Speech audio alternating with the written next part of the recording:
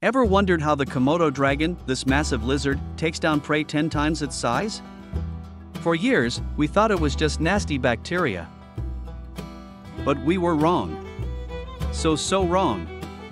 Turns out, the Komodo's bite isn't just dirty, it's deadly. Forget the bacteria myth. The real secret? Venom. A crazy cocktail of toxins that does two nasty things. First, it stops blood from clotting. Imagine a wound that just won't stop bleeding. Ouch. But that's just the beginning. The venom also sends the prey into shock, like a power surge gone wrong. It's like a one two punch, making them weak and disoriented. So, yeah, the Komodo dragon is a true apex predator.